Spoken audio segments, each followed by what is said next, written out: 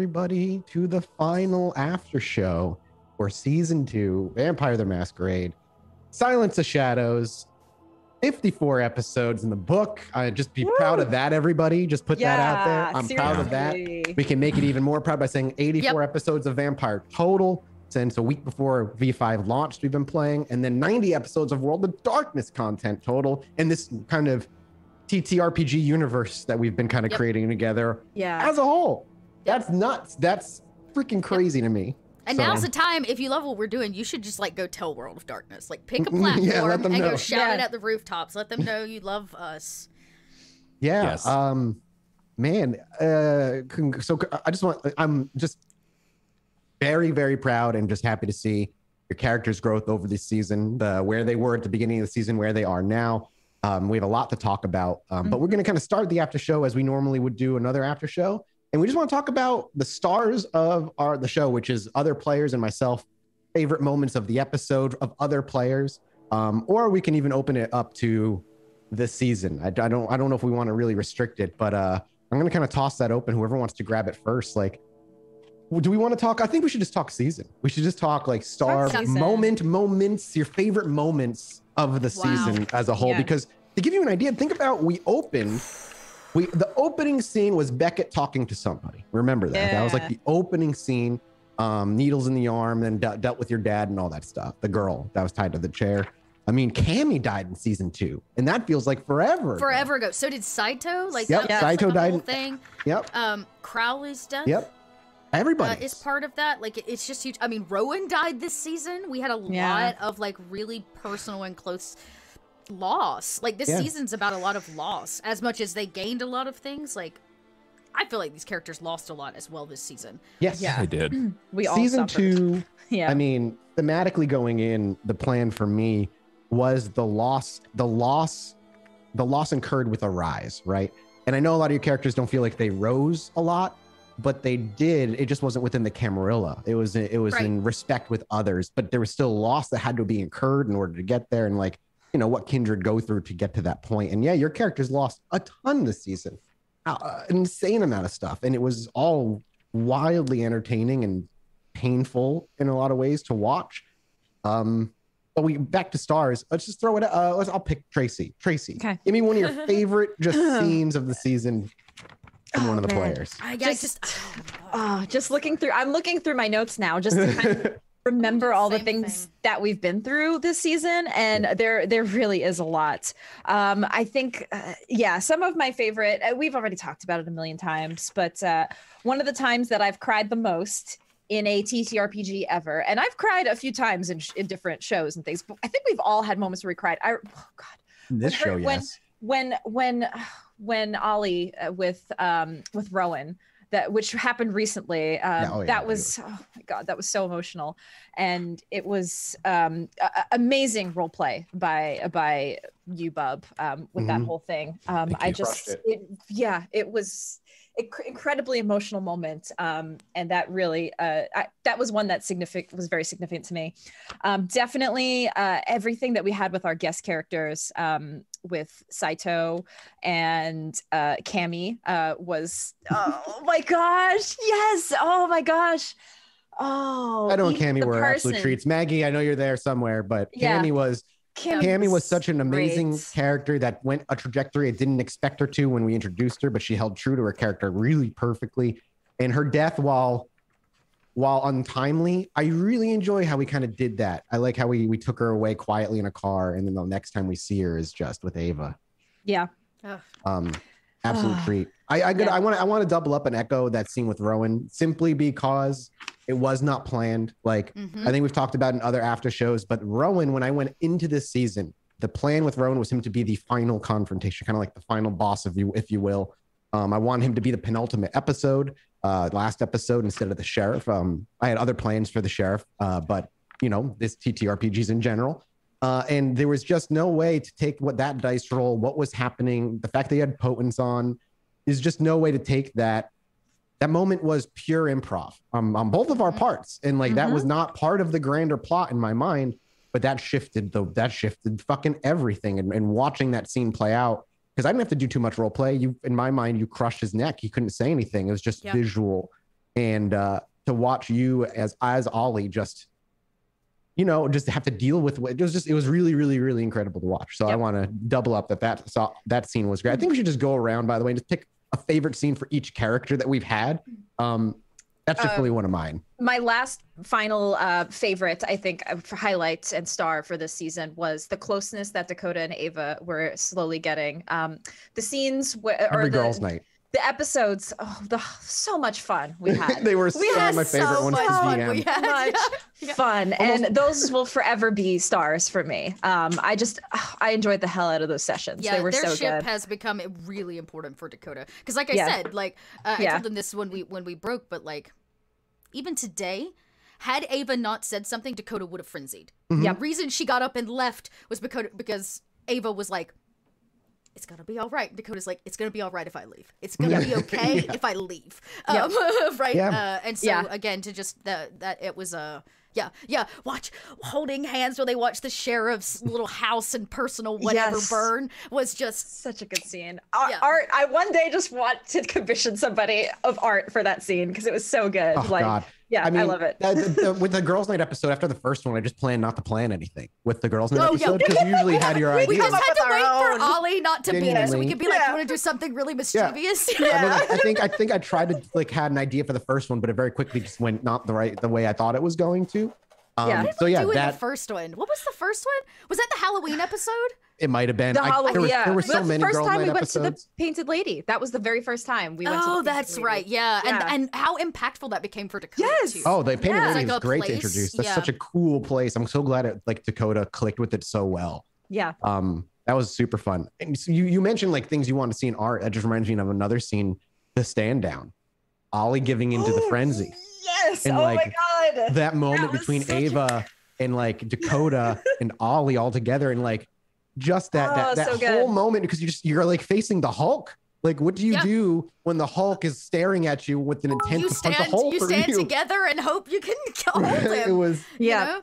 Yeah, it um yeah, that was. I, it's interesting because I think we have all frenzied at some point. We saw Ava frenzy in the Yeah. labyrinth, like we were down Mhm. there in the in the prison, at which we had to hold her down for and like wait Yeah. through that. Right? We've seen Ava frenzy a few times. We've got to finally see Ollie frenzy and fix that, and then we saw Dakota frenzy at the like really frenzy at the end because of what the sheriff did. And so there was like this moment where the coterie all had to have each other's back in that. Because here's the thing, like if you alone as kindred, right, you're doing Yeah. your own thing, and you frenzy, you've got nobody to have your back right. right each one of in each of those moments we all needed the uh, the rest of the coterie to like have our back and it, every time it just i feel like it solidified a little bit more of like why we're working together and really not as alone as we Yep. even may want to be you know what i mean Yeah. Uh, continue on then. Uh, what about you, Dot? Hit me with some of your favorite moments for the other two characters okay of the okay season. well so i started out um I, I took really good notes to start and then we went uh so okay i Yeah, the the Ava eating a corpse scene is an is I'm another sorry. amazing scene. Oh wow. One of the I- things that I, I that's actually that's really the start of Dakota and Ava's massive friendship Mhm. was when Ava when when Bella called Dakota in to watch Ava consume that body. Mhm. And then Dakota watching Ava do that. And you know, Dakota came to Ava afterwards and she's like, "I didn't think you had it in you. We are going to take over the world. Yep. If you keep if you stay strong, the things that the two of us could do together will be unheard of. Um, and as hard as like other people in the coterie may have tried to break that, or outside people outside of the coterie may have tried to convince her otherwise, like Dakota from that moment was like, Ava is so much stronger than we give her credit for. Um, right? They under Yeah. people underestimate her, and Dakota related with that in like a really deep way. Yeah. Um, Do yeah. do we think that was the grossest scene of all season two? Probably. Do we think that was the nastiest horror scene, the most body horror? I'm trying to think. I think uh, I think Saito's death was pretty horrific. Remember Oh, how sure. horrible it was where Oh, we like yeah. they drug his soul into oblivion? Like Yep. I remember that one God. particularly sticking with me for some reason. Not necessarily more or less than another, but there was something really visceral about like the concept of dragging his soul into Mhm. into oblivion that really um that one really got me. Yeah. But I don't know Makes that that's body horror. no. okay, and I then I mean, had but still, few okay, continue. Um, okay. So we could talk about the humanity shift, which I want to put on the table too, because we had a lot of humanity shifting this season, which I thought was really interesting.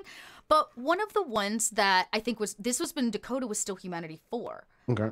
um, was the scene with Ollie. Look, I drew it where he gave us all drinks. Um, like I made I made like a note of it uh, because Yeah. Dakota couldn't enjoy that moment, and it was kind of a big deal for her because everybody else Yeah. could, and she was like. I don't get what all of you mean, and it's put me on the outside again. And so that was huge for Dakota, but also I think it was a really great moment for Ollie, right? Like we got to see. Um, I don't know why that one just really sticks with me, where we get to see this little piece of Ollie that's like bringing something from his past to the table that is now, sharing it with his coterie, being vulnerable with his coterie, um, and then we could just highlight like every scene that he and Grant have, right? Um, the the very interesting, Yep. um, yeah. Um, and then my other favorite Ollie moment, which I think is just so telling of both Ollie's strength and his flaws, which is when uh, what's her face came into the bar and made him frenzy. Or no, she didn't make him frenzy. She made him run. Didn't she? Uh, what's her name? Your sire. Um, Sienna. Ava- Sienna. Oh, Ava Sienna. Yeah, Sienna. Sienna. When Yeah. Came in and flexed the fuck Oh, I uh, remember inside that. of Ollie's bar. She flexed hard. Um, I thought it was interesting because Ollie, Ollie just so didn't want to back down. Like this is, and so I, I, those kinds of moments of the most friction make for the most interesting things because now Ollie is giving 100% into giving and making this a place where things like that can't happen. Um, and I just think it's so telling of like the events that lead to a character's growth and in that kind of way. So um, those are those are some moments. Um, I'm gonna give Mathas a star too because you Oh, here at this you. table. Thank you. yeah, Uh, I'm gonna give you a star too. Um, I got a lot of stars for Mathas. Um, I have to say, Mathas, I've played in a lot of TTRPGs. I don't know that there's a person that plays a catty bitch better than you. you do do a good Bella is Bella Oh, is God, yeah. just horrible. And whether or not, because some I, we're kind of figuring that maybe it's not Bella, maybe it's actually been Sybil. We're not really sure where that line is. But you made some major choices as like the political leaders, like as Bella uh, in this game, that really just it, she knows how to turn the knife and not just today like i think leading up to all of this everything from the subtlety of like manipulating us and using this coterie to for her her gains and her rise to like um like realizing that she didn't even really give a shit about Dakota, right? That all of that was also just its own kind of form of manipulation and the way that she manipulates all of us. I just thought it was um she's she's a very powerful figure. Um and we I think we saw more of her in the last season, but this yeah, season we in didn't see as season one, she was her more prevalent for sure. prevalent, but it almost made her an always prevalent figure Hmm. because we didn't actually have one-on-ones with her and when we did the stakes were so hella high um, and so i think that just really praises you as like a gm the way that you build npcs that we fall in love with like grant um, is just really um, it's a testament to the way that you build a world and you you let these characters like thrive inside of a world and um, i just want to give you a star for that sir i don't know Oh, that that's one appreciate it. moment it's a lot of moments but No, I appreciate Um, I, I appreciate it. I'm, I'm just glad you guys enjoy and can interact with it, and uh, you know are able to just take a take take what I put before you and just fucking sprint with it. So, um, yeah. yeah, I, I, I couldn't, again, I couldn't do. and any of always this taking our guys. crazing ideas because that's the other thing i know the messages you get uh, when we're not on screen uh, and you get so many just like massive walls of text it's like i got this idea i want this thing give me my xp dump you know like i know you have to deal with all the bs I always too, feel but bad 'cause I feel like I tend to be- I feel like I tend to be too strict sometimes, and I try not to be. I just want things to fall within a certain realism in a way and not get too crazy. You know, I like just because I Mm-hmm. but like I keep think my that's horror really that way. cool. The way that the table has to like remain super grounded and we reel Yeah. things in and like there's a, a high a high realism to it, which which makes it all the more believable. So Well, thank you. I Um, appreciate it. Yeah, yeah, totally. Um, I don't know. I've tossed out a bunch of moments. I got y'all. I got I got moments upon moments upon We moments. can, we can throw it to I Bub got- and see what his his are for say, right now. yeah, Bub, you start because I'm just like, Man, just replaying through so many episodes makes it uh, really hard to kind of like highlight a singular moment because I, I don't know if I can. I, I've got to, I've got to highlight the player though.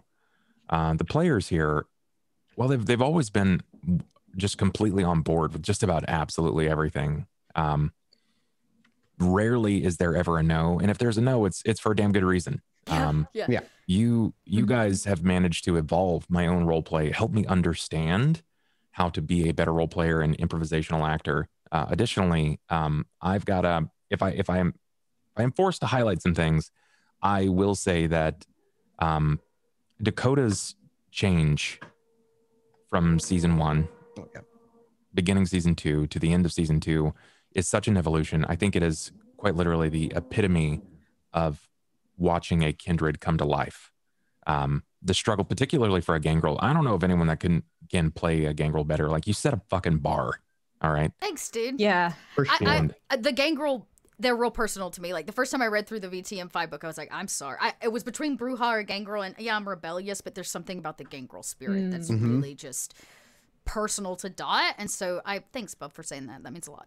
I, I I think I'm going to be hard pressed moving forward to find, um, you know, like anybody else that can even stand up to that or even touch that bar. I, I know that there's going to be points going forward that I'm going to sit down at another table with a different ST and crew, and someone's going to be a gangrel, and I'm just going to be like, Why'd you bother? You're not in the game, girl. yeah, my dude, my dude. Good luck, good luck. Um, but like additionally, I I also have to highlight Tracy here, um, particularly in season two. You brought it, you brought it. Season one, it, we were all relatively like. I'm, I'm be honest. Season one, I didn't know shit about vampire. I didn't know a Me single none of you thing. did. Either. Nope, Well, we yeah, showed up. none we of us babes. Yep. The And what just knowledge I had out. was, and what knowledge I had got wiped away because V5 was introduced, and that just changed so much of the lore. Yeah. Yep. Yeah, it was uh it was nuts. Ava's growth was uh phenomenal. Uh season 1, we were basically just flying by the seat of our pants. By season 2, like I felt like we had a solid grip even if we had changed and I think a highlight moment is how you stuck to your guns about your motivations and actions of season 1, Mm. knowing that Ollie was trying to pick a fight with you in Mm. season 2, especially the beginning. He wasn't trying to be catty, but he Mhm. was basically being like that was a bitch thing to do Mhm. and you need to know that was a bitch thing to do. And eventually he got over it. And I mean, by the end of it, he was like, I will eat another kindred for you. yeah. That, that's what Yeah. happened this episode. Is like, I will eat someone for you because that's just how close that that bond is. yeah. Um, so that was that was huge. I I I would be it would be an an accident or uh, even a problem for me to not mention that. So that's huge. You guys brought it, brought it every session, and that was huge. Um, so I I I think that's that's fantastic. I mean, additionally, uh, it would be also I'd be remiss to to not compliment Mathas. Um, Mhm. He brought it as well. Uh, never really know knew what I was getting into, and to your Um, own frustrations many a time for everybody here. yeah. Yeah. Um, I gotta say, chat, your own hubris.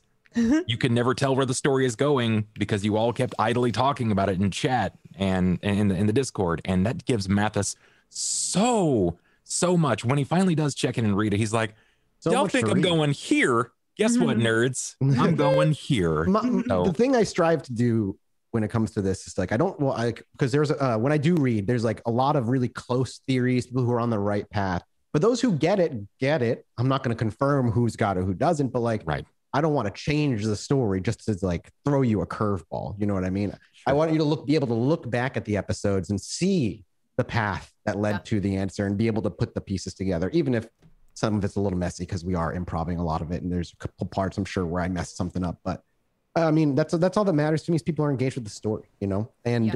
you know, kind of going on character arcs. Ava, I agree. Ava's Ava was one of my favorite ones to watch as well because she rose so high at the end of season one, only for her youth to make her crash back down to to silly decisions or uh, things that were forced on her. I mean, the big the big thing for the Sybil decisions that for a while when I would check into the Discord, it seemed like the Discord didn't quite get it but I think people have a more better understanding now is that the story with Sybil is that you were given choices with enormous air quotes. Like Yeah. that was the story I wanted to tell with Ava was the story of these false choices of this.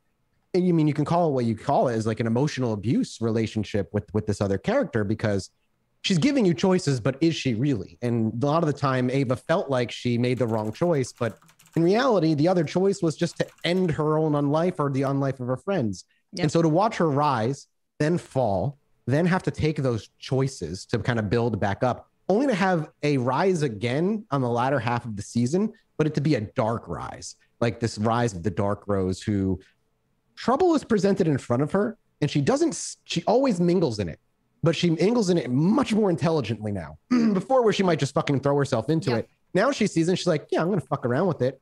But I'm going to do it in a way that I'm clean and I can uh, and I can influence power over these people and maneuver throughout the society. And it was that it was that reintegration to the Rose Garden that we got to kind of got to watch Ava take that was so fascinating to watch because I didn't know which way Ava was going to go. I had no idea if she was going to go for her humanity again and try to like redeem herself, if she was just kind of going to be, all, you know, give up and just be like, fuck everything. but she, you know, you took her a completely different route than I was expecting in this dark rise of like what a lot of kindred idealize themselves as being. And It was just fascinating. Like all your characters had such fucking great arcs this season. Yes, I 100% agree. Yeah, it's just it's nuts. So Yeah. that's the season. What about what about no no? What about your wish or your your, Your- stars? my Yeah, God. what are all I jumped on all of yours and can I we agreed a with all Yeah. of I want to take a second though uh, to additionally like I want to highlight Josh and Maggie. Yes. Oh yeah, they're not here, Yes. but yeah, I. They they they also brought it and Yes. they Yeah. Challenged our perceptions of one the clans of Yeah. character motivation and action. They spurned a lot of in-game action, and I think that they also need similar applause because oh, I agree. they kick Agreed. I mean, ass, man. man, anytime I mean Cammy showing up for an episode is like a favorite part, just because whenever Cammy showed up, it was always intense because she was a primogen in a primogen man business. And on the other hand, whenever fucking Josh showed up and then chaos was about to ensue, and I had no idea what he was coming in with. A lot of the time he would pop in, he'd throw me a little bit of an idea of what he wanted to do, and then we'd start the episode and it spins wildly out of control and it goes That's why Dakota hated Saito. So he shows up, and that means bad things are happening. Yeah. Like that he is a he was a beckoning. The he was two like of a, you he was a, hated yeah, him. Yeah. yeah. And, and the flow so it's hard. difficult though, because like Saito actually helped Dakota out at some points, okay, uh, with some things that really just didn't actually ever come to light. And like Yep. I imagine that Saito didn't really wasn't about bad things because we know he was somehow involved in this like moving of thin blood. So like he had he had some humanity. He just was a beckoning for bad chaos. Saito He was a disaster. He was a disaster. He's a He was like monster fire. Very well put together on the surface, but the moment that he made action, it was just fire. Everything was Yep. fucking fire, and that's what was so Yeah. great about him. just I agree. nuts. Just uh nuts. Oh man, but I mean, both of their deaths were were painful to watch. Yeah. Like, I didn't want them to die. You know, that wasn't a Yeah. plan going into the season. Obviously, was to have anybody die, but that's just how it happened. But each one of them was just like a, I, I you know, as an ST, I was it was either let them live, and it was kind of be audience pleasing in a way, kind of pandering, I guess you would call it. But it didn't make sense to the world and the rules I had set forth and to have them live just felt like a disservice to the story, even if it meant saying goodbye to one of our some two, two or three or four of our favorite characters over the course of the season, Mm. as it were. But Yeah. it just, you know, it was one of those things where it just, you know, I had to do it, and that's that's just how the dice roll. Sometimes that's just how the decisions of stories go. And while I strive not to kill our players, I'm not that kind of, you know, ST. I don't like killing them off. I have made clear before, like that death is on the table, and certain decisions can lead to to death. Um, Yeah. and but but but it but it happening any every time it happened with every player, it was heart wrenching. Like every Yeah. single one of them was just a heart wrenching uh, scene to watch. So yeah, man, the guest characters fucking crushed it every time. I'm and boss and I was mean, gonna we- say, Boss- we shout out to Boss Boss? coming in. the Oh, brief another shakeup. the Yep. brief the brief moment boss is here she did exactly what a set setite should be doing which is immediately trying to sway you to shake off the chains of, of restriction so Yep. Yep. It was. It, yeah, that was definitely a shakeup that I don't think any of us like. We were we were real stable at that point. And then boss comes in and is Yep. like, "Ha-ha." yeah You devil on the shoulder that's what, exactly what i yeah. wanted maggie to do too i was like she wants to play she ministry that's going to be so much it. Saucy. yeah she was so saucy, Killed it. Um, uh, totally killed that. So your moments wishes, for Beth, is me, you're yes. not getting away with. No no no absolutely my stars for for everybody here i mean we've talked about some of my favorite scenes already um as far as everybody good is concerned um i will say one of my favorite things with ava was also the premonitions I, especially when it was used in in, in turn with. Saito when when, Yeah. when you do it with Saito and stuff.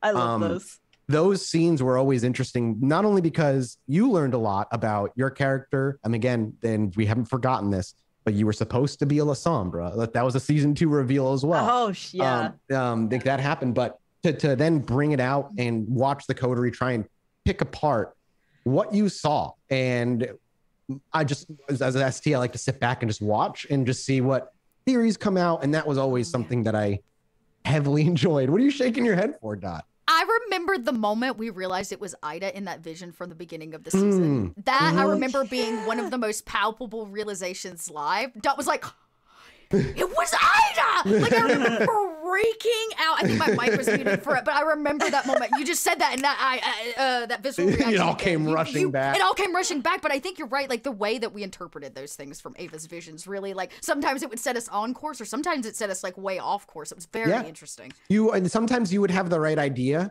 but you would latch onto it as though it was 100% and you would kind of chase that only to be led to learn that it wasn't that and I don't know, it was just it was interesting to watch you all adapt and move um, as far as uh as far as ollie is concerned i always love doing meet set scenes with you as matt. I really always i really enjoyed matthew as a character you know kind of running the end of the story course for the most part. Um, i think we've talked about it in after shows before but you know matt's story was meant to end more or less and and at the just around the corner. Um, he was brought in in season one briefly and kind of made more important by the end of season one slash season two. Uh, and so the end of you know the reveals of what's happening to Arcadia, the reveals of, of all that, you know, we're hinting towards the fact that you know him at the very least is not attached to you know this abyss and it's killing him. It's not actually empowering him. And you know that kind of goodbye that we saw with with uh, him and Ollie where you're like, we're to get that game. And he's, you know, kind of limping away, like, yeah, we'll get that game. And then to maybe never even get that game, you know, that was, I just enjoyed that because you always tried to bring hope out of Matt. And he was such a hopeless character who lost everything and uh, he deteriorated to nothing. So that was always fun to go back and forth. And I hope you enjoyed that as well. Yeah, man, Matt was such a good character and he I wish that there could have been more interaction there. And I know a lot of people wanted to investigate the the the whole fairy side of things, but we came from two very different worlds. We were thrown headlong into two very different worlds by rules not of our own and just forced to exist, but not really having anyone else to sort of rely on or build a relationship with. I was there for it. Yeah, uh, I agree. I really enjoyed that too because one of the things that's like tempting is like when you bring in those kind of other supernatural things is to dive in and explore those as fully as possible, and then Yeah. the campaign can get mucked mucked up a bit, and uh, it's not. You know, I want to bring those things in, but I always want them to be kind of on the outskirts because vampires don't mess with that too heavily anyway. So I'm happy to wrap that up, Yeah. and obviously we'll talk about it again uh, a little bit, but the thorn in the side reveal and like Mhm. that kind of thing we'll talk about which does bring me to Dakota, which is this- God, it's so many fucking moments I have with Dakota as well. Um, one, the whole finally kind of figuring out what happened at the cabin for the most part. Um, the truth in that, that's just because what sucks, eh, what, what, what sucks for Dakota as a character, not as a, a player, I think it's amazing as players Dakota got kicked in a lot this season. Reveals that just made that just kind of beat her into the ground constantly and constantly and constantly. And the, we saw Dakota kind of many times ready to throw in the towel. I mean, there was Yeah. discussions as well off camera. I think around half the season, maybe the About first half. halfway through, I was Yeah. like, I think Dakota's going to leave Chicago. Yes, that's what that was exactly what I was going to say. That conversation that we had on Discord about uh, Dakota leaving Chicago and being gone, and to see where she's come from uh, as far as that is concerned. Uh, the the the I, I think back constantly to the scene because I didn't mean for it to be so frustrating for Dakota, but when she got assaulted by the sheriff, when she got jumped by the sheriff, and then I think a lot of the scene she had with Bella after that, and Man, Bella really set her off because I think what Yeah. we didn't get was to know that like Bella had serious fe- or Dakota had serious feelings for Bella. That's what Yep. the bond did to her. Is it, Correct. it made her have these unnatural, obsessive uh want of Bella's love, and she gave every. I'll tell you this: had Bella not done that, Dakota would have given Bella anything. Oh, I know anything. Oh, she aware. would have assured Bella had done, you know, all the things. But yeah, no, it was. Yeah, I don't think And you knew Bella it was, going to set Bella off or Dakota Yeah. off. You know. Yeah, I mean, and if Bella was a perfect leader, you know, she would have done so. But you know, she has her own uh, flaws and the like. But with Yeah. with Dakota, it was those moments that, I mean, oh god, there's just because Dakota's so fucking complex, which is why I love her. But Right. it's just like she's just so. I mean, another the, the the scene where you make the decision to save the little girl is another one I think back to because that completely changed the trajectory of a NPC I didn't think would escape, uh, and to led to a guardianship that when when she did escape, I was like, this could be really cool. But to watch it kind of turn into something I wasn't even like, I didn't know how Dakota was going to handle it. I just knew I wanted to see this side of Dakota because we've we've talked off camera too. A lot of Big Dakota's changes in season two was the realization of self reliance in a lot of ways. Yes. because because she always as we started season two, she always was looking from someone to look up to.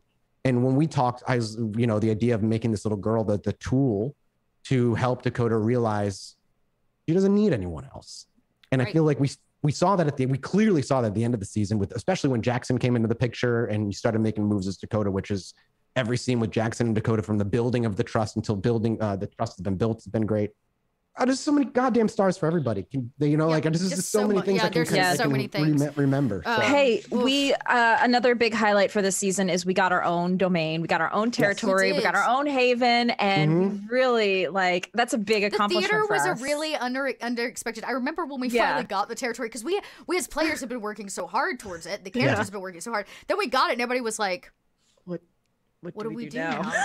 We have, We like we actually have a stoop to piss on, but like you know what I mean. Yeah. So How do um, we- it how was do we very- handle yeah, this? How do we handle it? And so Yeah. there was a it was very interesting in the conversation around like what's the main building going to be? What is the haven? And the way that the theater kind of took on this like position of its own uh, for the Mm-hmm. coterie and like the first time we got to host something there which showed this kind of i thought this potential for the future of like Mm-hmm. now we've got a place if we wanted to host elysiums or Mm-hmm. other influential kindred for events like it just um baby chorus concert, you know? the big baby chorus great. concert like what an important huge great. thing for us because let's think about our first party Yeah, which we were reminded of by, by? Rhonda. Uh, Rhonda will never forget um, that pathetic gathering. yep. hey, Rhonda can suck it. Uh, I don't need Rhonda's approval. Um, Yeah.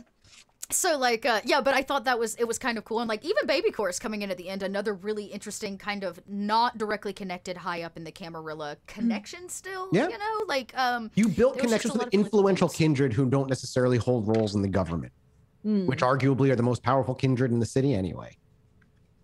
And I, and that was really fun to watch. Um, well, I mean, we can keep talking about the season. I'm sure we'll Yeah. keep Yeah. we'll keep reckoning back to it, but we should talk about the final episode finally. Yes.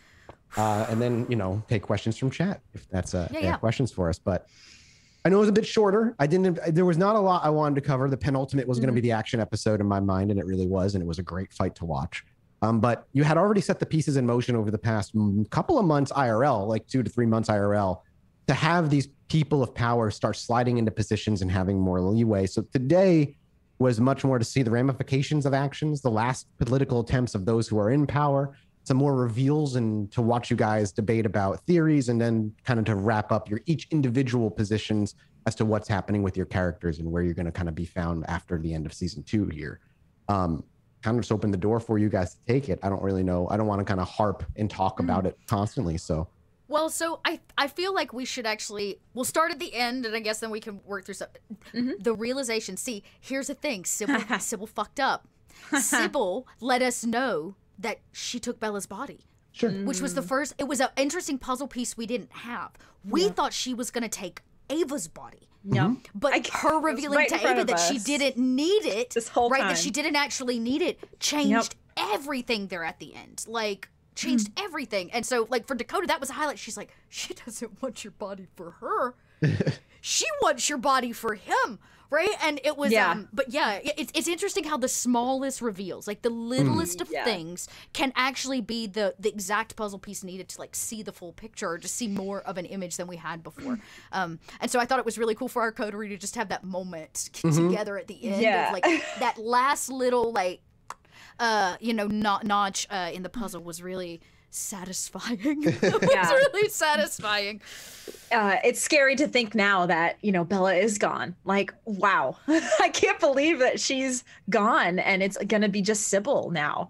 Um, it's kind of scary.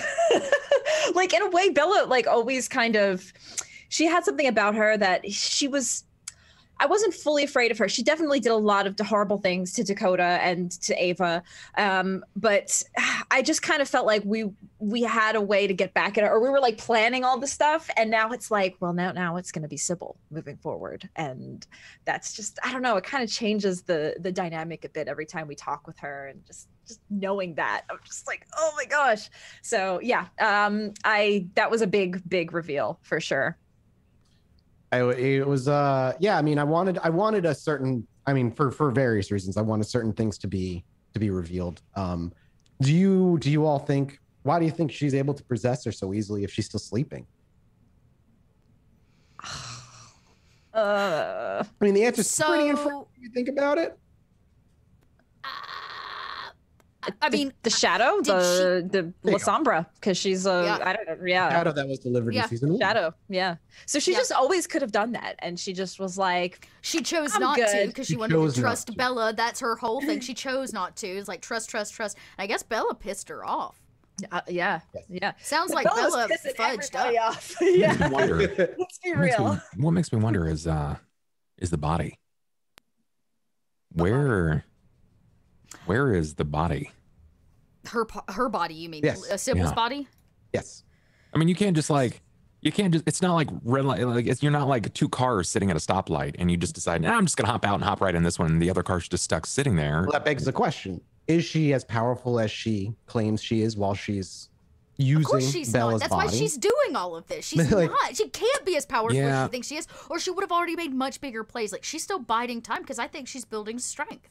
I I I don't think she's like she's evil, but she's not Sith Lord. All right, I think Mm-hmm. she's just she's got big balls, right? And she's pulling some some huge plays. And plays, she's catty. and she's catty. So I think I think her body is still under under the ivory tower or in I don't. I Chinatown or wherever the fuck it. it's at. I think. I think it's in Chinatown. I think they moved it over the ten years. Yeah. yeah, what- wherever it's at, I think it's. I've had a yeah. I've had a theory that Saito actually helped with that, but I I don't have proof of it. I have a, I have a gut feeling that Saito helped with theory. that move. Yeah. you Um, may be right on that. I mean, you'll never but I, know I because can't. Saito Dot is gone can't now. prove so. it. Yeah, and Dakota definitely can't prove it, and would never piece that together. So, uh, but I think I definitely think that they Good theory. moved her body. yeah. Um, Well, I mean, he Yeah, did I tell us that that he uh that there were he he lost time Yes. yes. multiple Hmm. times. He said, I, "I lost time. I don't know where I was. I don't know what was going on." Yeah, Hmm. I I think that he was super Interesting. duper used. Um, It just makes me wonder. that Anytime that she could like, body. Anytime that she could ride someone, does that mean she had access to their disciplines too? I wonder. Probably. maybe, but I imagine that we don't have access to her disciplines because there's not actually her blood running through them. Correct. Yeah. right? So she has to use the disciplines of whoever she's like inhabiting, which is why she wants all the puppets. She needed a Saito and she needs an Ava, right? And she like so she she went out and she was like, I can't use my disciplines, but I can use the disciplines of everybody else. That's no fair. Damn you, Mathas. Well, Why? Why is that not fair? He's like, that's fair game. Nobody said I couldn't He's do a- that. she's a Methuselah, man. yeah, of course she's using everybody else's powers. Yeah. Um, I don't know. It was uh she's a mm, Sybil. She's either going to also fuck up. Like I'm waiting for her to make a big mistake. Um, I'm also interested at what point does she reveal that she's here? Is she is she gonna play this whole thing off under the co- uh, like under the covers, or is she actually gonna like toss the sheets back and let everybody eventually see that she's here? And I look forward to that fallout. Yeah, well, I mean, I don't know. The Ventrue is certainly not happy about the Lasombra seating being uh, seat Yeah. being uh, primogenized. Um, but hey, I got to introduce another. Uh, I got to introduce two more canon characters Yeah. uh, that that are in the city: Alexa and uh, uh, Oh, Von the something Malk. or Yeah, she the was like, mouth. somebody I trust. Yeah. Oh, Dakota could have ripped her fucking throat out. yeah, that was the moment Dakota's like, I'm not gonna make it. Malk, this. the Malk definitely needed representation, and Yeah. Yeah. that that totally They made did. sense. Yeah. Yep. Having having them the Malk Having- uh, Hound. Hound. Yeah. Yep, Alexa. Yep, and then the uh, Primogen Lasombra seat and the removal of the Gangrel seat, which politically, for the most part, um, the kindred in, in Chicago understand because there isn't a lot of representation. So here's my question: Gangrel. How many more Lasombra are there than Gangrel? Uh, you don't know. You have no idea. At a game, I mean, I can. Hmm. It, I'll I'll say like I don't know, maybe a handful more. I can't. I bet it's it's less than ten. It's it's got to be. Yeah, I'm less guessing less. I'm guessing five max. Yeah. Which means that technically that's a really weak argument. I, that's what I was thinking. That's a really Like- fucking weak argument, and Bella knows it. That Yeah. shit was catty. She did Yeah. that on purpose. it was, it was with the totally personal targeting. Um, Yeah. I was like, what? It was There's like five of them. Like, really? like, come on. You did not need to seat a Lasombra. Like, I, I have to say though, Jackson was a very interesting balance to Bella because we see a very different kind of politics out of Jackson, and I really appreciated his presence in that regard because I think we've seen a lot of catty Toreador politics leading up to this season, and then to finally get some time with people like Ballard, right, and see some some some uh, somebody like Ballard working, and then somebody like Jackson, um, and to have Jackson even reveal to us, it's like I don't like this old guard way of thinking right? And Yep. to see that that's clearly affected Damien because Damien has made some interesting statements. Um, and yeah, there's just um, it was cool because we got to see both two two different sides of a coin. Um, I thought this season, um, and Jackson kind of brought that. I mean, even at the end there, he was the only person in that Elysium that was even remotely kind to Dakota. yeah. That gave her any what like time whatsoever other than her own coterie. Even Yep. Brett was a shithead, right? Oh yeah. Um, yeah. well, I because he is a I shithead. think but- I think the Jackson just adheres to the old adage of uh, it's easier to lure flies with honey than vinegar. Correct. Hmm. I mean, just yeah. I mean, he's he, respect is a in his mind is the way to is the way to have. He's he's Yeah. also very ruthless and can be a Oh, yeah. tyrant. But He's kindred, definitely a kindred. But that's what I've noticed about Mathas is that the Ventrue and the Toreador are so very incredibly similar. Just one is a classier, Yes. uh, like a, a classier caddy. The other one is Mean Girls caddy. Mean caddy. girl, yeah. Mhm. And Yep. chat, that's actually not true. Dakota and Rosa were the only two that ever showed up. But now we know that there was Moon inside the city who was Yep. not necessarily aligned one way or the other, Mm. which means he at least followed the masquerade. We know that there were some other Lester gangrel Knight, you got introduced to. Lester. Lester's been here, and we found out he's like been here, been here for a while Mm-hmm. under the. And I imagine that Bella is fully aware of him. So to think that there's only two cam aligned gangrel, I think is what the Camarilla wants Dakota to believe. It's Yeah. what Bella wants Dakota to believe, and what she's finding out is that's not fucking true. Yeah, I mean, you are not wrong. There's a you know there's a lot of manipulation right? involved. There's with so how much, Bella and, and and I think that's part of it. Is like, yes, technically the gangrel aren't part of the cam, which Dakota just learned.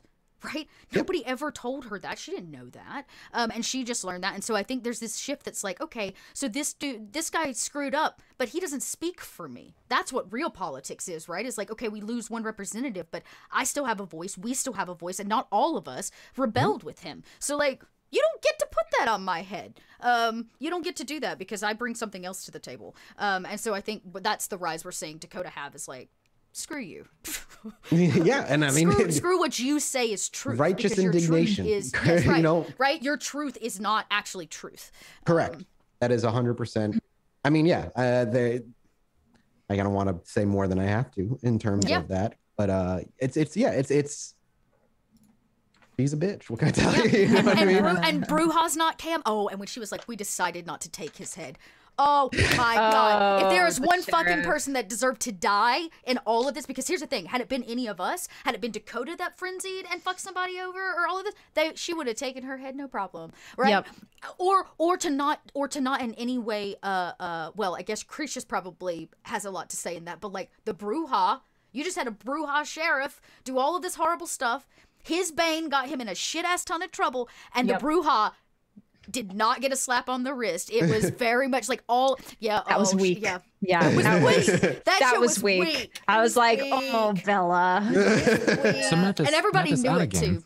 too. Out of game. I, I I'm curious. I I don't need to know if if uh if a particular person has done this, but is the sheriff dead? Mm, I don't want to answer. I don't know if I can answer that question right now. I don't want to know who did it. I just wanted to know if if he's still And if he's still here's alive. because if he's not, Because that, that would confirm or deny theories your characters have in game, correct? If I just tell you now. how about Yeah, this? 'cause If he's still walking around out there, and if Dakota really thinks that he's out there in exile, she will find him.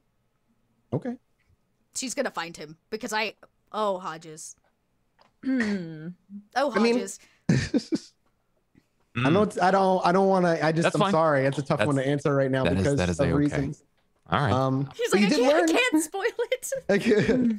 um, but yeah, another another thing you talk about though is Hodges. I mean, Hodges wasn't really acting of his fully of his own accord in Correct. a lot of ways, Yeah. thanks to another uh, Fey magic that he meddled with. But now, like I said, the Fey are more or less out of the picture entirely for the most part at this point. Yep. Uh, yeah.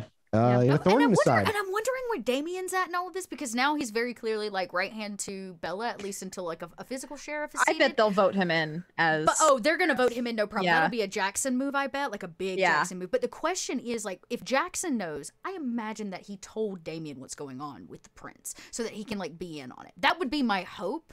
But like, so what is Damien's play here? Like, is he just gonna play good, good hound, um, and wait until like We all play our has- part, yeah. yeah, we all play our part. Like, I'm interested in where he's at. Um, because you know he didn't say he wanted to be sheriff. He told Dakota he had an interest in being a hound, um, at least for a while. Like that was the last. Yeah. So I'm also really, um, I don't know. Maybe maybe Damien drained Hodges. oh. Yeah, that's an interesting interesting. theory. But but Damien doesn't seem like to me. Damien doesn't seem like the kind of uh, NPC or at least character um, that's in it for the power struggle, right? Like Yeah, he's doing this sure. as uh, much to what I imagine Jackson's doing it as, which is a balance, right? To get rid of the old guard, we actually have to do that, which means we're gonna have to, like any rebellion, unseat them from underneath. Um, and like that slow process of always having Damien there to watch Bella might be a, a move. But I, I have a lot of questions about that dynamic, like because Jackson made it clear he and Bella aren't on very good terms. But it's well known that Jackson has like a bit of a, a, a, a soft spot for Damien, and so like is that like good favor between Bella and Jackson to bring Damien in? Like I just all of it's really um I don't think Damien would have drained him. I think Damien, uh, out of game think- yeah. speculation, Damien's older generation. He would have gained nothing from it. Interesting. eighth gen. You think I think he's, he's eighth. oh is he eighth gen? So he's two. Wow. Yeah, you're right. He's he's got too high. So um I think he's That- even like he's Damn. really high in his BP as well. I gotta look. He's got high BP, yeah. Uh, he's either s- I can't remember. He's either seventh or eighth gen. I want to say I want to say eighth. Yeah, I think eighth. I'm not sure. yeah. Oh, Damien is sixth gen. sixth gen. Well, so says Oh, that's Chat. right, 'cause he's from Chat, I Cretius. hate to He's break it to y'all. from Sometimes. Yep, sometimes y'all wrong. Uh, so we're gonna check the book. I will Sorry, double Chat, check, but I, he is he is Cretius' He's Cretius' child. child. So He is Tr- Chris, Chris's childer, Let me which is also check, interesting because that's not known knowledge, right? I mean, you Um, wouldn't know it. I, Yeah. I don't well, think our we know characters it, but I wouldn't, think but I mean, d- is it well known across the board? Because really, Jackson has seemed more like a Mawla to Damien than Cretius has. Mm, Right, like Cretius as a sire, um, Mhm. which Yeah. makes I- sense because if Cretius has been under a blood bond for a thousand years and you sire a, a, a child, or the last thing you want is that child to end up under the same bond. So, like, Oh yeah, his BP is five. Woo! yeah, I Oh, think it's- damn. That would be like I don't I don't know if it's as, as much as a matter of Mawla. I think he's just playing the political field because I mean if if he is Damien's Mawla, then he's like all of our Mawla, right? Because he's he's playing the game with us too and giving us the benefit of the doubt when we prove ourselves. So My question is, why hasn't what what was was that Cretius's like? oh, who better to have on your side than one of the oldest, like just Yeah, so did rattiest bastards on your side than Cretius- Cretius, man, right? Did Cretius actually like? Was he a proper sire to Damien? Like that's a really interesting thing because it definitely seems to me like Jackson was more of a sire than Cretius ever was, especially if Cretius has just gotten out of this blood bond. yeah, you don't know. Hard to say. Yeah, it's very hard to say. Um, because But I know that's info. we don't. Damien's Damien's not not that old. No, he was embraced No, he was sired in the Yeah. sixties. Oh, uh, 60s, sorry. Yeah, the he's I was gonna say he's not that old. So maybe it's a matter of like he took a philosophical approach as opposed to to being like, I'm your dad now, just being like, I am your care provider. And you are going to learn the things that I have if you're going to live under my wing. Yeah.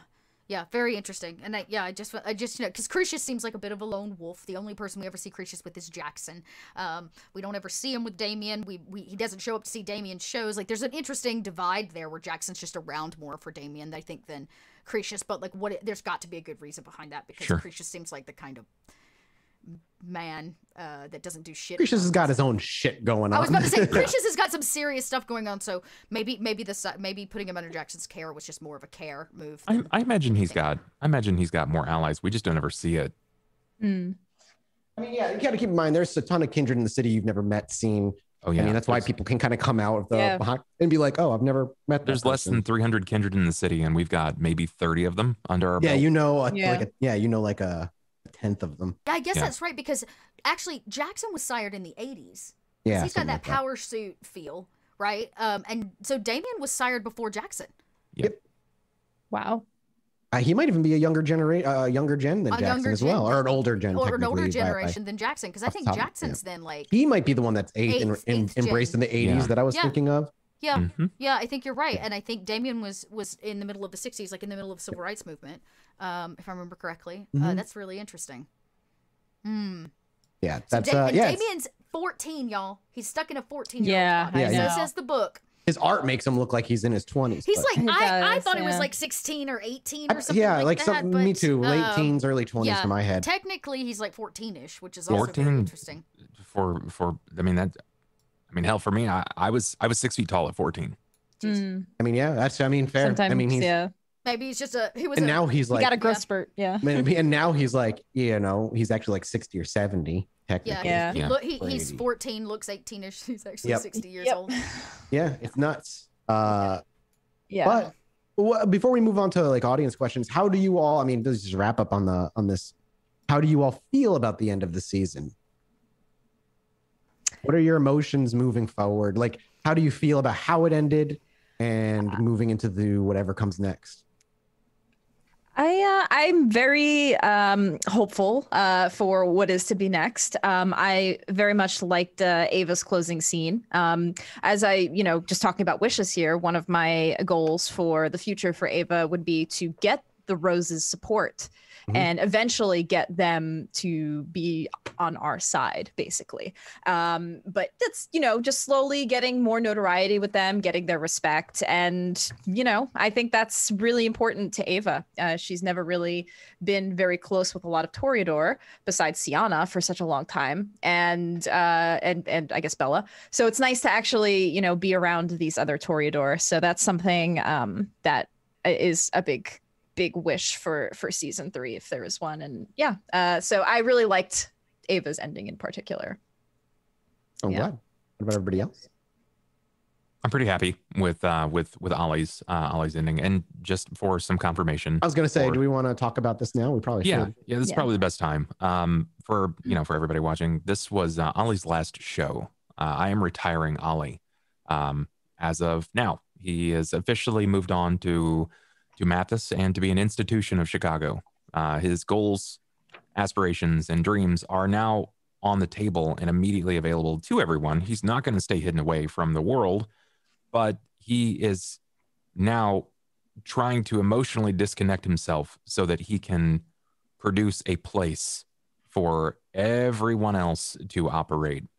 Uh, his goal is to be an autarkis and to create a place that anyone, regardless, Anarch, Camarilla, Autarkis, anyone can come through and and lay it all down. I mean, he was making good relations, particularly with um, with our Malk friend, the Witch of the Yards, mm-hmm. to to build up lots and lots of blood magic uh, on and wards on on this place, so that it's not just kindred that can come through, that is potentially other soups, which is what we saw at the end of this this session with uh, with Snitch he asked Snitch to teach him everything that he knew. Teach me everything that you know about about the lupine because they're gonna cross paths. It's just gonna happen. There's no way it's not, and they need a place. They need a place for that. Uh, but yeah, that this was uh, this was Ollie's last episode, and I I'm happy. I'm happy that we got to see that in action. Uh, someone jokingly stated, like, did the zoo ever put out a note about a missing jag? like, wait till the zoo finds out that the next jag that they replace it with also is missing. yeah.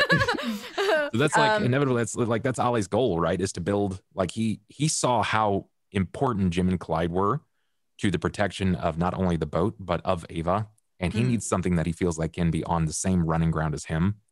And Kianta does that for him. He's able to just shut off and let the person in him go away and just be an animal. Mm-hmm. So Kianta was that for for him for that. And we got some closure for Ollie and Dakota, I think, which yes. was really interesting, right? Yep. Like some con- some really needed closure, right? Mm-hmm. Um, and Dakota, I think, really understood what Ollie had to say of like, I gotta, the things you love will be used against you, right? Yes. if Dakota doesn't un- like, I feel like this Dakota really understands that uh, to uh, to a lot of different degrees, and like Dakota's only ever wanted Ollie to like rise to his best self. Right. Yeah. I mean, uh, so yeah. who am I to stand in the way of that? You know what I mean? Yeah. I think um, uh, another uh, highlight of this, uh, I really liked Ollie's decision to take his mask off uh, yeah. for the final Elysium. Uh, I really, really did like that. Uh, kind of really embracing that Nos side for a second, and yeah, yeah I really like that uh, while I there's some left strings and questions, I'm sure uh, from plots that have been left open. Some I still wish to close up uh, in the future at some point. Others that you know may never get its closure, like um, the Witch of the Yards like thing about the occasional name forgetting thing. Uh, you know, I'll, I'll probably wrap that up in some way at some future. But I, this is like as good as a good ending as like a a kindred can get at the end of his story, yeah. whether it be via death or not. I mean Ollie lost a lot. Ollie yeah. tumbled in humanity a lot, and there was tensions and arguments. And, and it's not like he had a, a, tr- a great trip, and it's not like he's suddenly sitting on top of a mountain of influence and gold. He's able to step away with relative ease and peace, um, while still being heavily ingratiated in the city. It's not like you know, it's not like Ollie suddenly gets redeemed into this, you know, 10 humanity thing that he always, you know, wished he was when he started. He just, we got to see Ollie go from that idealist, that father that couldn't let go, to a proper kindred who still has a heart of gold. That that kindred who still cares and wants to bring people together, no matter where they're from, but swallowing and accepting the game that must be played. And in that, like letting go and becoming an NPC and a character who does play the game and fully ingratiate himself into the kindred politics of the world. It's about as best as anybody could hope for in terms of uh, seeing, an, and at least for me in my kind of campaigns, rather, let me be very specific. In my kind of campaigns, it's kind of like the best ending you can kind of hope Yeah. for uh, for your character. And it makes sense for Ollie uh, to kind of walk away, especially after, you know, the Rowan storyline kind of got its bow. Um, And being an Autarkis means that you can't really be cam aligned direct, right? Like Yeah. there's this there's this need for Ollie to actually have to distance out of those politics and build Yep. his own politics, you know? Hundred percent. Yeah. uh yeah I, I don't i don't see you know it's not it's it's it's always sad to see a character go but you know we've talked about it plenty of times and it just it's it's a it's a good place to let it go is there anything that you wish you had gotten closure on that we didn't get closure on Um, not particularly. I, I'm just interested to see where the evolution of Ollie as the institution that he is in the city goes, because I Mhm. imagine it's not going to go unnoticed. No things will Probably be there's going to be a ripple effect to hmm the choice to put ollie you know to hang ollie up as a character um i also want to make sure you know grant isn't gone he doesn't disappear from this either i like grant as That's a just character because too you much like playing Grant. oh yeah i fucking love grant We love And- Grant. though. and, and Yeah. Grant loves Everybody Grant loves loves Grant. the coterie, man. Grant Yeah. loves the coterie. It's, uh, Oh. uh, Grant is, is, is a, a fun character to to embody every so often, but he would be he's less, less, less, less common. Uh, Yeah. From For for confirmation for folks, I will be I will be back in in some experience. I'm not sure what that is. Not sure if there's anything to announce yet. I haven't made another character, but it's not going to be the last of me. I'm not going anywhere. right, right. um, Um sorry. yeah. Yeah, yeah. And then we were gonna. Oh shit! I just I got super Oh, we were do- sidetracked. uh Dakota, you're- To- you were Dakota, talking to about Dot- Grant Dot's end. first. We were talking Oh. about Grant first. What were we talking about, Grant? The, like what we were talking about? Just I'm like, how much No, we were just- playing him and how he's not necessarily going Oh, anywhere. You'll see less yeah. of him. No, no, yeah, yeah. But before that, what were we talking about? We were, going we around were moving room. to Dakota. Dakota's Oh, end. Dakota, right. your ending. The ending. So were Oh, we right. satisfied with where the things ended? Yeah, yeah, yeah. I think we set Dakota up for two major things. Well, three major things, right? In Dakota's mind, there's still a seat open, so that's right. And we and we got to see her. She needed she needed the gangrel to show up to this gather, Hmm. um, which I think was really. Sh- She needed that like real hard, and it was really nice to have it to have it happen. Um, but I think we've also set up for something that Dakota's been had her eye on and slightly worked towards for a decade, which is the lupine. There's a lupine kind of story there now, and Dakota has a connection, even though indirectly, with the little girl, and it's something Dakota has just had her gra- her nose to the ground on, and now it's kind of starting to uh, sprout. Yeah, it's it might actually become something that is needed. Uh, you know, Jackson's brought up the lupine in the past. Um, even even in just like conversation, like he mentioned it, and it did not go over Dakota's head. Um, but then we've also set Dakota up to be less to be less of a punching bag. I think coming into season three, right? Um, that's that's what the Houndship did for Dakota. All it did was allow her to continue to be a punching bag. And when she made the decision to leave being a hound, she also made a decision to be like, I can, I can be more than that. Yes, can I take a punch? You gosh darn tootin'. I've taken punches my whole life, but that's not who I am. So this idea that she may start showing up to Cretius's classes or that she's learned to read and that she's begun really studying, these are things that I think we um, we, we, we set up for. Um, yeah, so I'm very happy with Dakota where Dakota's at. You know, this idea that maybe she will get the pack that she needs out of the gangrel. And what could come of something like that? When was the last time Chicago saw aligned gangrel? hmm Right? Yeah, exactly. What is all this lupine stuff? Who's going to talk to them? Is there any talking that's going to happen?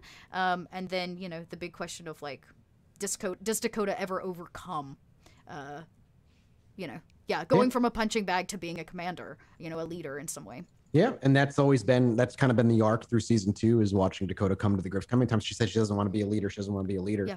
But you you know you made a good point. The little girl really changed something in Dakota, Mhm. right? nobody ever needed anything of Dakota. Like she always gave a lot and she was always there to like give anywhere that she could. But she was always looking, she always had this idea of like, I'm not good enough. I need somebody to teach me. And it wasn't until the little girl came around that Dakota's like, no, I'm fully capable.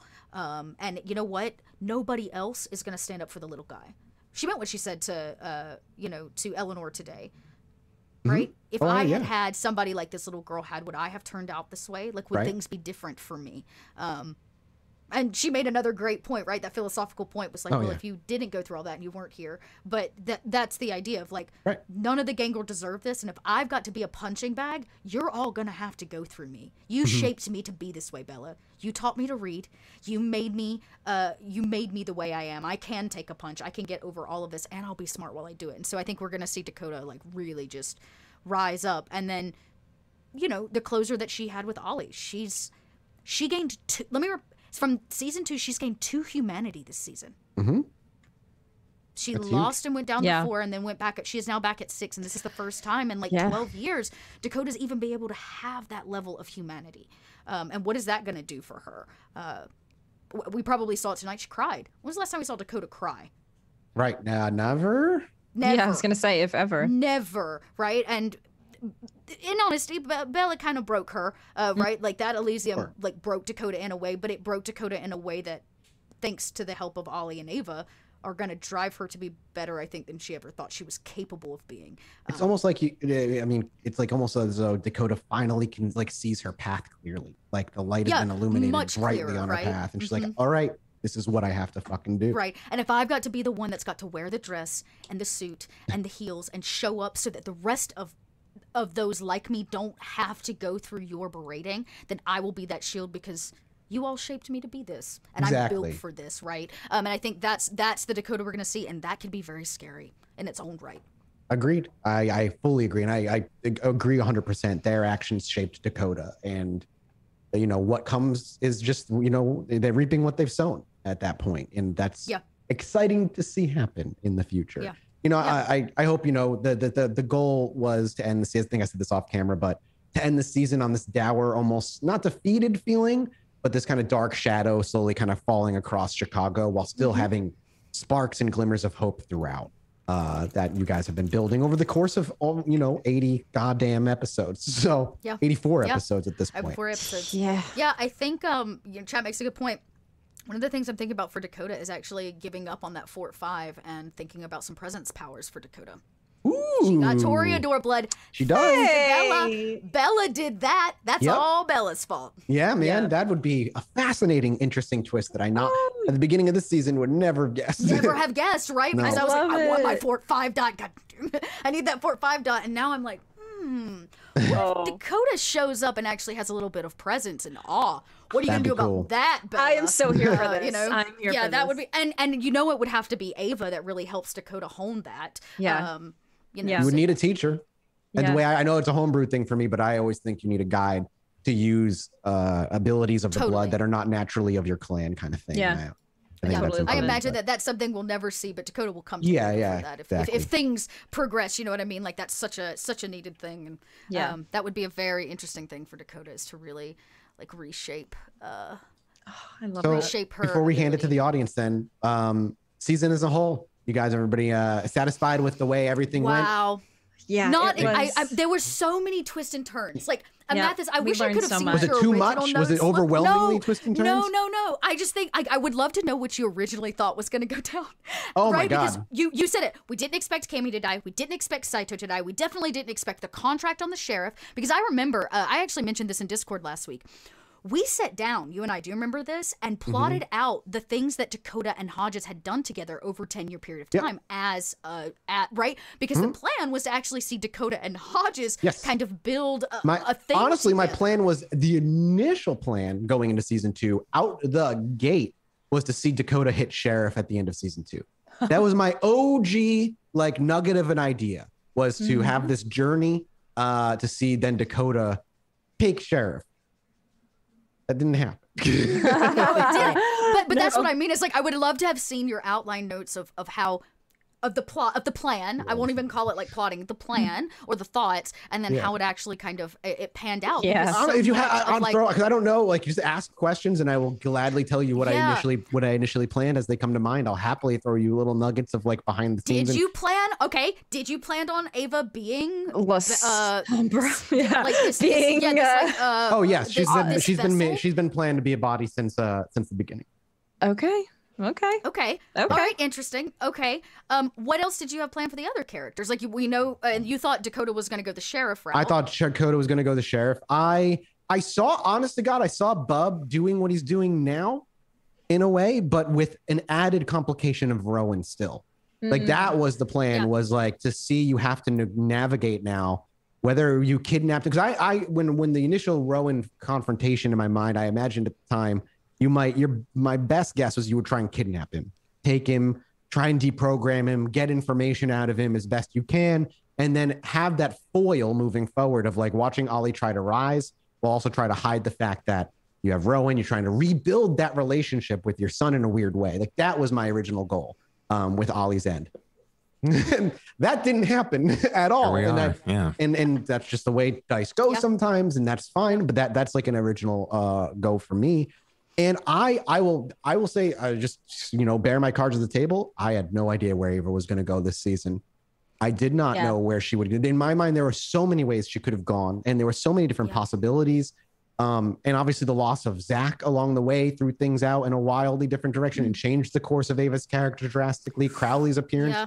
changed the course of of Ava's character directly. I think out of Mhm. everybody, while you all took your own individual twists, turns, and ways I didn't expect you to handle things and make decisions, Ava's was the wild card as an ST for me this season, where I did not know, I couldn't really predict where Ava was going because Ava was tumbling a lot, and I saw players trying to reach out and like try to save her from that tumble, Mhm. and Ava almost willingly saying no, you know, like fuck you.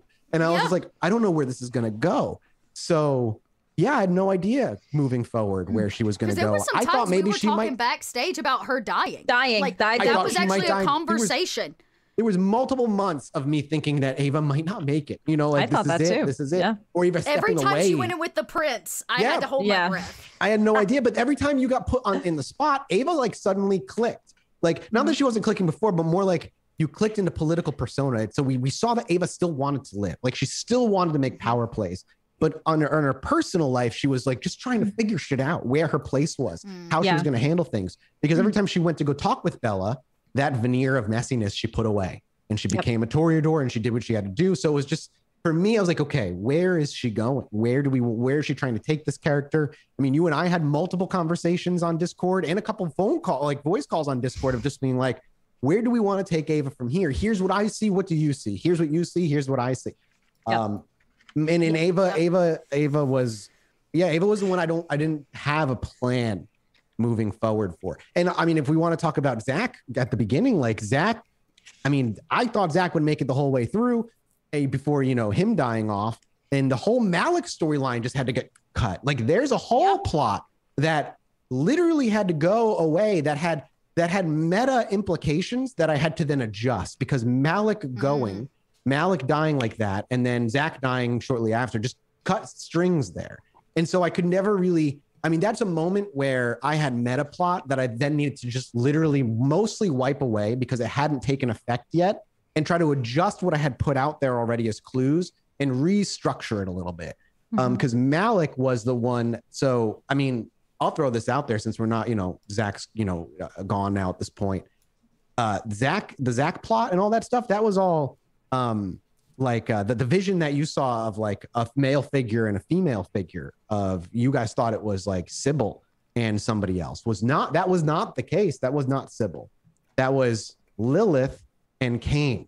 And that was the I called Yeah. that. Do you remember I called that in and and he you know made a decision on what to do moving forward. And that kind of was made clear in that in that well not made clear but was hinted at in that vision. But Mhm. then when you got to him you fucking just killed him. And i was like wasn't ready for that. Like you just took his head off. And i was like okay all right then. Yeah, and we'll go from there. And then Yeah, and then and then you know. EE made a decision with with Zach that got him killed, and like it was just a it was just one of those decisions that took a character in a Yeah. direction I didn't expect to go, and that ended up killing the character. I mean, yeah, there's like there's a couple of you like I always go into a season or a story with like a grand plot I'd like to have with multiple ways obviously can go, but I try to leave the episodes uh, or individual sessions very minimally planned. I have an idea of who I want you guys to talk to in the episode and what plot points I think are important for you to drag out now. And sometimes you get more, sometimes you guys get less. It depends on your choices. Um, but I try not to, you know, my notes are, I think for, you know, compared to other DMs, is probably extraordinarily minimal um, because I approach these things as a cooperative storytelling kind of thing. You know, I don't want to have three pages of notes to try and hallway guide you down them. Mhm. I want, I know this people need to show up. I know this person needs to show up, and I'd like generally for this information to get out. We'll see what happens. Uh, Yeah. And that's kind of how I go into it. You always But, do uh, such a good job of that, Mathas. You like, do. Like even thank with you. the I sheriff appreciate thing, because like we talked, we talked at season two. It was also my plan. I was like, yes, Mm-hmm. Dakota making sheriff sounds great. Yes. And then when the contract happened and things kind of flipped on in, it was actually the sheriff's words of being like, "You're trying to take my position," which is why Dakota was like, "I've got to leave." Yeah. I have to prove to them that like I'm not actually after his political power or nobody's gonna ever believe me. Mm-hmm. Um, and so when I came to you and I was like, I don't think Dakota's leaving Chicago. I think she's just gonna quit Hound. And you were like, Oh, that's interesting. And so Mm-hmm. Yep. we had to like rethink like rethink it right and because Yeah, we were this way and then we went that way and you were very collaborative in that process i was like i think i really it's going to be a starting over point for dakota but i want her to gather some gangrel um, Yes. and Mm-hmm. that was just a, it was a very it, it, big shift for us and so that reinforces that idea of like just there's a lot of collaboration at this table and Yeah. when Yes. shit goes awry because we can't plan for Cammy's death we can't plan for No. We can't plan for a contract that's going to piss the sheriff off Yeah. in the next episode we got to take Zach's head and it just starts to- you know what I mean all of these things we can't plan for um, and so I think it's really um, it says a lot for you as a storyteller that you can take those things run with them and still continue to give us a really fantastic experience for the well, characters again, wouldn't Yeah. be able to do with all you guys. Like uh, my my my most of my prep literally goes into instead of like I said the plot, which I have an idea of the story I want to tell and kind of the major twists and turns. Most of my planning and my my work goes into creating believable characters. Like that's where I focus most of my energy because you know too many times I played with DMs. Not that anybody DMs incorrectly, but the way I like to play D and D, you know, too many times NPCs kind of fit these cookie cutter. This is the good guy. This is the bad guy. These are the mm. NPCs in the shop and whatnot. And you you really want to like you really have to push to get the details if that's kind of character the game you like playing. And so I always want to go in with a certain backstory. Like every character I create, even if they're NPC on the spot that you suddenly make, I tried in my head to create three things that are personal to them that drive them. And I just try to play by those three things. And then moving forward, if they come back more, that's when I kind of pull apart their story and stretch them out. Because I don't, like I said, Bella could be such an easy, easy mwahaha villain, right? Mhm. But it's her flaws to me and her history and her humanity that make her, to me, Yeah. more interesting to play because she's going to slip up. She's going to say things she doesn't mean. She's going to fall to her own ego. She's going to make decisions that make her feel good, but don't Uh-huh. necessarily make everybody else feel good. You know, she could be the Moriarty that just rules over Chicago in a Mhm. perfect way where you're trying to secretly stop a, a Methuselah. But how many times have you seen that on a show? And not saying that we're doing anything unique, but it's just, it adds that humanity to the story that uh, allows like the three of you to cry. I'm not, I'm not proud of making you cry, but in a way I am because For sure. it just yeah, means you're in, be. you're involved. You're right in, you're like in should the world. dakota and Yeah. dot having that moment when it was all said and done of watching here's the thing she could very easily just be the villain but she's a character in our story and i think Right. that is the difference you have turned her into a character that makes flawed decisions Yes. right that um it, it does things like what she did at Elysium that probably pissed a lot of people off. That very clearly was a jab at Dakota Mm-hmm. Oh, um, as well. And that left Dakota open to be able to have that uh, excessive moment or th- those moments with Cammy, right? Where Mm-hmm. Ava's got to got to eat Cammy. Uh, It's just um yeah, being able to being able to do that is just um it, it just makes the world so rich because it doesn't feel like we're like we're fighting fighting a bad guy. It's like That's the hard part. are we the Yeah. bad guy? Are That's what they- I want. who's The Yeah, bad that's what I guy? want. I want Yeah. you the Are we the bad guy. baddies? guy. Yeah. Yeah, are we the Are we the baddies? And I never want you to interact with any NPC and make it feel like you're just you're talking to a, a, a menu of options where you're just like, I need to say these things and buy these things. Like even when Ava and Dakota went to the black market, that character, that old lady, kind of middle aged woman, was just Oh, made up yeah. on the spot. Like she wasn't. I didn't think of her ahead of time, but I wanted her to feel real. I wanted her to feel like she was there, and I hope that you walked away with that interaction, being like, The pawn shop. yeah did you that's what i'm saying the old lady in the pawn shop like she was just made up and but so i had a couple of things i'm like here's what drives her she has this kind of past whatever and i wanted you to walk away feeling like she was like a real person that Mhm. you could d- dig into if you wanted to, and not and just you do other the black market lady. You know what I mean? That right? You do other things too. Like that woman is the one that made Dakota realize that her being 18 is problematic.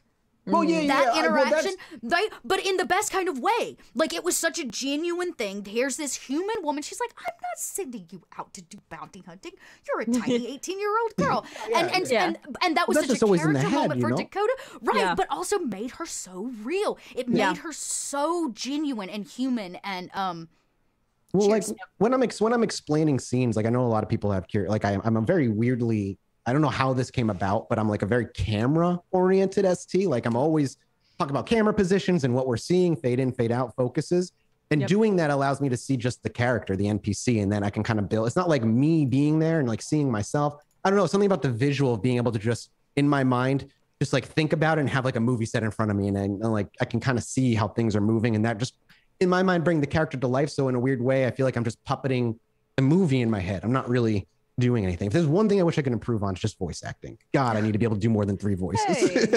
Hey. highlight. but we work on it. Um, Uh, Yeah, one man. other, and I just I also really love Mathas how you are really good at transitioning scenes and kind of moving forward with the plot very easily, um, which is something like I try to as I, I, when I want to DM and things like that. I I kind of take that from you, um, and I really like that you're able to kind of very naturally move things along with, you know, we Yeah, might just- be talking for like 20 minutes, and then you're like, and then there's a knock at the door, and let's move the plot, and it's just like I know wow, a lot of things really happen serendipitously a lot of the No, time. but I it's don't, good, But like, like- yeah, I want things to kind of feel natural, like Yeah. you're watching a movie, mhm. but still Yeah. feel like we do oh, four it's the, hour shows every Saturday and Yeah. we get so much stuff in and you manage to like fit so much stuff in. and all of um, our crazy and- wishes too. That's the And that too, You take like- all of our like Mathas this week. I really think I'd like to go to an ice cream parlor, please. Yeah. and you're like, uh, okay, um, Yeah. I trust you. Uh, Yeah. yeah, I, I just it's been a pleasure. It's been an Yep, absolute pleasure. it's- You guys, you guys breathe enjoy mu- as much life by interacting with these characters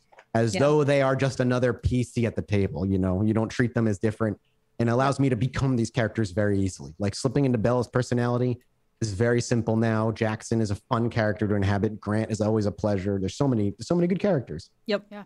Yep. Well, should we now go to chat then and and yeah, take chat. Give us those Let's do it. questions. I don't know how you do these. You just want us to pluck them from chat, but uh, feel Um yeah. Uh, Have- uh, Zach and Crowley both met. Yeah, let's do Zach and Crowley best moments. There's a lot uh, for them. Zach has had so many, so many good moments as well, and Crowley was uh, such a different foil to the coterie at the end there. Um, yeah. Yeah, Crowley's death was really sad. Um, I felt I felt really horrible uh, in that moment um, because I know it wasn't like fully, but I felt responsible in some ways, and so um, that was really sad for me. I, I I took that last photo, or we had that last photo that we took, and I thought that Yep. was a really nice moment. And then I had we had no idea he was gonna die, and it just Yeah. oh, I didn't know, and Yeah. it just happened. I was like, oh my god, I felt horrible. I think I don't know that it was one moment with Crowley. Crowley was a really interesting character for Dakota. So I'll say Mm-hmm. this: it was was an interesting character for Dakota because she doesn't have a lot of positive male figures. Ollie Mm-hmm. probably being one in a while. Now we have Jackson, which is a positive figure, but Crowley was kind of like a, a dad figure, Mhm. right? Remember when she was in that alleyway and she was just fucking tearing some trash cans up, and he came out there and he was like, "You want to talk about it?" You know, and and and, Yeah. and uh, there was a way in which Crowley actually uh, communicated with Dakota in a way that a lot of people at that point outside of her coterie just weren't. Yeah. Um, and that was very, I think there were some really helpful things that Crowley brought to the table uh, for Dakota. But my interesting point for Zach, I think, um, obviously his decision at the end to not sleep with the girl was a very Yes. interesting one, I thought, for, for Zach's character. Um, but we saw Zach break a little bit uh, a few times in this Hmm. season in a way that we did not see happen in season one that made him make some bad decisions. Or I say bad decision made him make some risky, I should say risky decisions. There are no bad decisions, risky decisions. Right. Um, uh, which I think you know Saito showed up, and that was a very interesting thing that got a rise out of out of Zach. I thought, um, and and really drove him to run to deal with this thing too soon. Um, and so it was it was a really bittersweet but also poignant moment because Zach had kind of figured it out, but not really, and he made some tough Felt- choices. You know, Yeah, I felt for E in that moment. I have had a character that I thought I pieced together the puzzle, and I went and jumped ahead. And I got my fucking character killed too in D and D. Like I thought I had had half the conspiracy put together, but it, not all of it. And I made some big moves, and I just like I, I knew I know that feeling, and I felt incredibly bad for him. But Yeah. You know, we also talked about it prior, like the death of both characters was something me and EE both spoke about for days and weeks leading up to the death of both those characters. So it was never a surprise uh, Mm. for him. And we kept it a surprise for the players kind of yeah, on I purpose. didn't know. Yeah, no, we kept that from you guys on purpose because we wanted the impact, obviously. But it was something that, you know, all all deaths for the most part. Well, the guest characters know, but any other death, I've always I always want to make sure the player at least understands that death is on the table. Like the sheriff episode, last episode. You know, I wanted to make sure as we went forward into that episode that death was a possibility there, and anybody could Mhm. die. Yep. Um, what did Bella do to deserve being taken over? And will they see the key again? Yes, they'll definitely see the key again, even if Ollie becomes an NPC. That's something Mm. that I kind of want Oh, to bring yeah. around. That's important. um, I, I kind of hinted at what Bella did in the conversation with Ava. Uh, it was in a moment of panic. She attempted to take control of a power that wasn't hers, Mm. which one could make an assumption is that she tried to assert control over the shadow herself. Hmm. Um, what caused that and why? we Oh, believe in the air for Okay. another time. But it was So in Maggie's that moment. questions in chat, by the way. Yeah. For us. Oh, sweet. I'm so Yeah. sorry. Yeah, I did to not help realize. us out. Uh, no, just to just to make sure we don't miss any. We kind of answered what are plans for Grant. Uh, We'll go through all have of them plans from the for top. Grant? Yeah. Yep. Uh, we'll just start with the top. What uh, I really am just burning to know is how Nos is Ollie. Uh, and that was asked Why- at Little I Red don't know Dot. why I well. would a- answer that. How Nos is Ollie? I don't know. I, I, I, I mean, he's a Nosferatu, uh, and I'm wondering now if that's not actually a question taken to mean like because they both got naked now together. So I'm just gonna ignore that if that's how you meant that question. Um, but yeah, I, I, I don't know why I would know how Nos is Ollie. Ollie was I mean- probably the least Nos Yeah. Nosferatu that you could ever meet. Like From day honestly, one. if From you day could one. if you could pick up a Ventrue and a Toreador and Yeah. cram them together, and Okay. then you stuffed it in a Nosferatu body, then Mhm. bam, there you go. Silent Echoes, I, I appreciate you, but keep your dirty jokes to yourself. Yeah, that's how you please. meant That's not what we're doing here. Um, uh, what are my plans for Grant moving forward? We'll see. Grant, I had plans for Grant. Grant is another plot device that never got. He didn't get the uh, the uh, the end I thought he was going to get, simply Right. because decisions were made that deviated from that. But that's that's great. Um, is an embrace of Grant actually on the cards, or is it just something that he wants but will never get? I mean, again, not something I can really answer. I don't think. I don't think that can happen. Um, I, I don't I think I can answer that right now. Rather, I just don't think that's something I could put forward. I can ask is how willing would Ollie be to embrace him if he approached? Hmm. And that's a question I would put on Bub, even though Ollie is kind of becoming an NPC. Ollie would wait until he knew that he wouldn't sire a thin blood. I was about to say, I mean, Yeah, there's also, uh, now more than ever, Dakota needs more gangrel.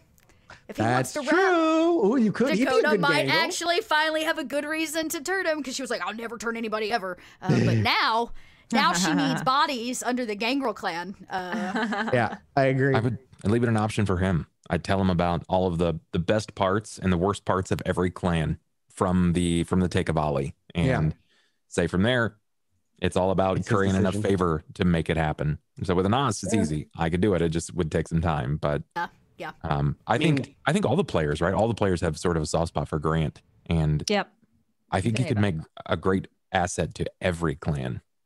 Yeah, I agree for the most part. With uh, I just I think uh, Grant is he's an interesting character because of his flaws and, and the like. As a but For sure. I don't know. I don't. I never really. I mean, Grant's put thought into being embraced, but he has never really thought about what clan he's really wanted to go into because Yeah. every time he, it's, it's the hard part of playing VTM too.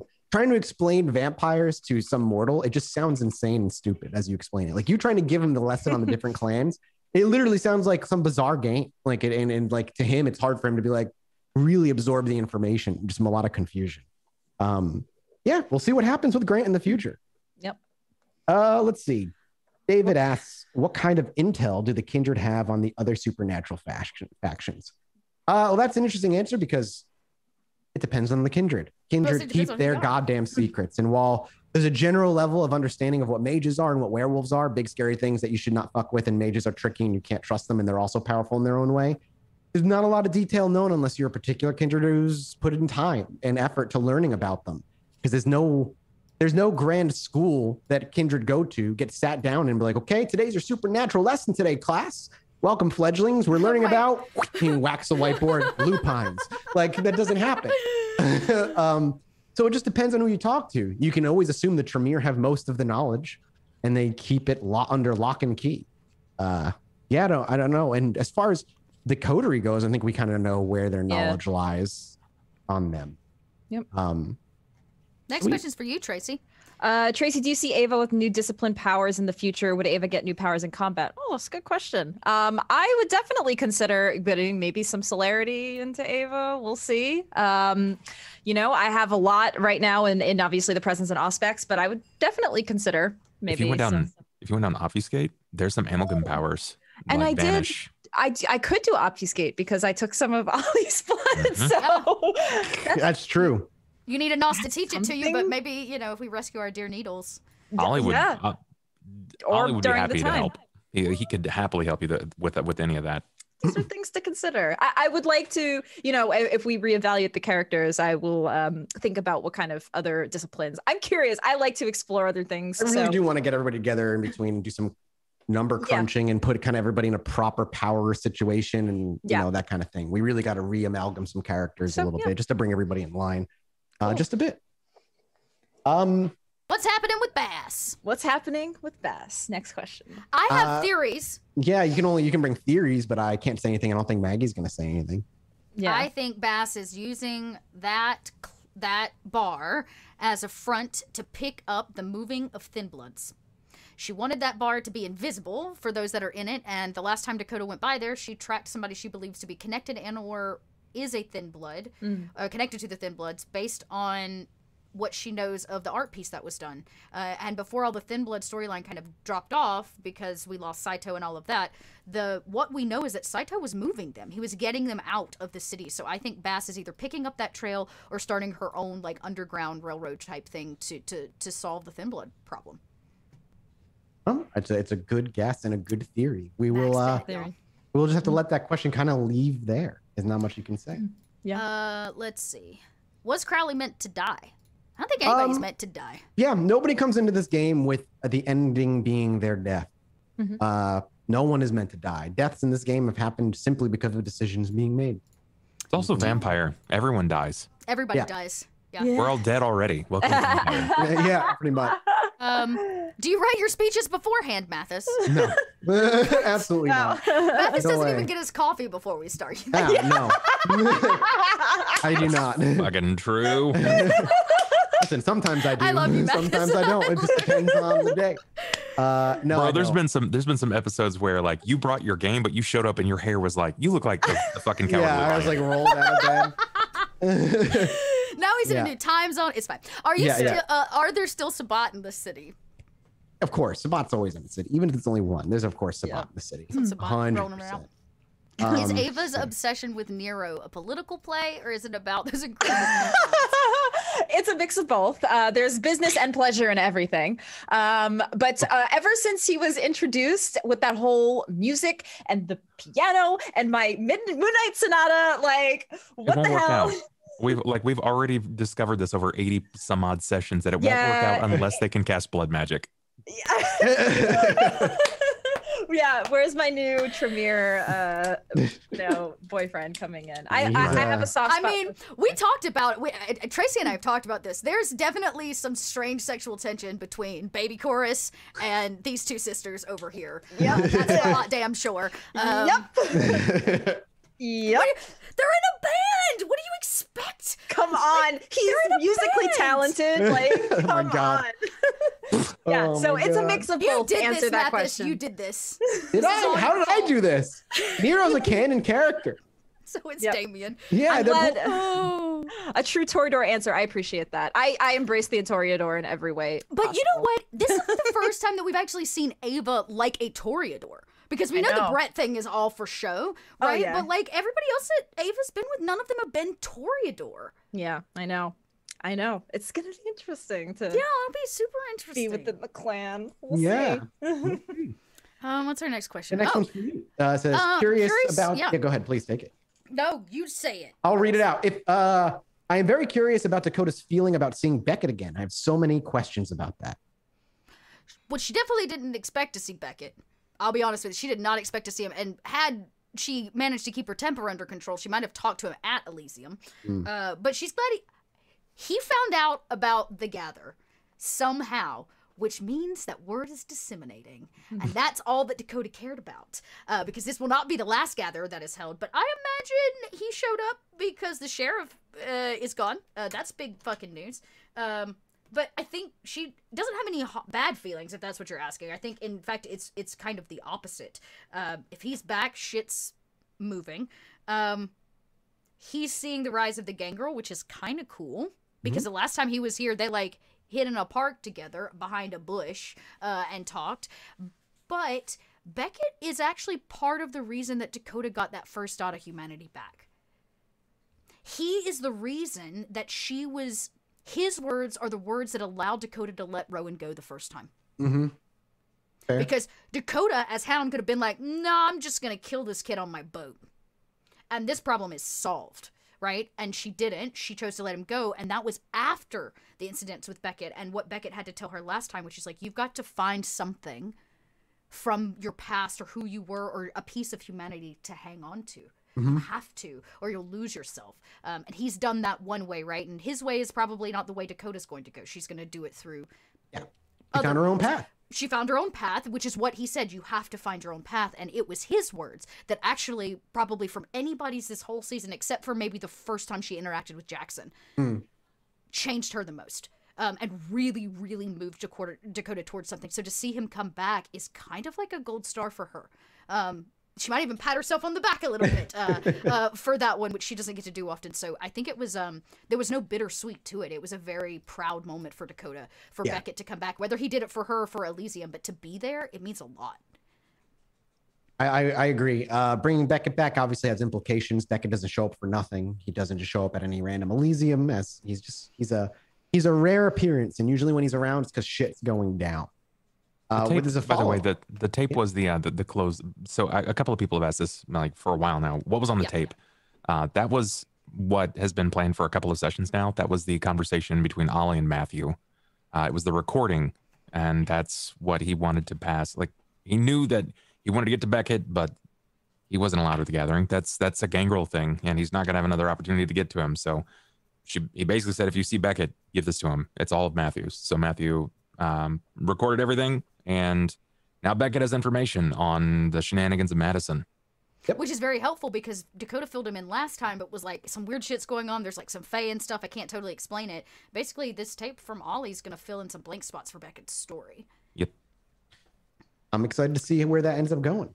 Uh, what, was, up, with Beckett? Yeah. Uh, what was up with Beckett and the woman he was talking to way back in the? Oh, the setup. The setup's the opening scene. Um, I'm not going to answer that yet.